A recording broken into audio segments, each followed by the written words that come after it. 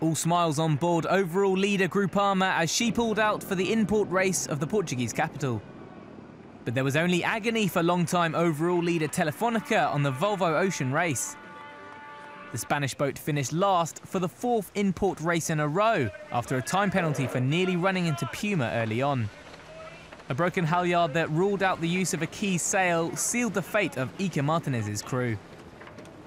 As for Groupama, history beckons.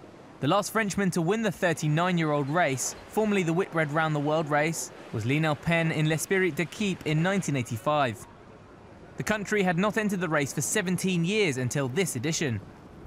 Groupama's 22nd victory over American boat Puma stretched its overall lead to 8 points over Telefonica with two legs and two in-port races left in the 8-month offshore sailing marathon. The fleet next heads towards Groupama's home port of Lorient in France. The 1,940 nautical mile eighth leg is expected to take six days to complete. The race finishes in Galway, Ireland on July the 7th.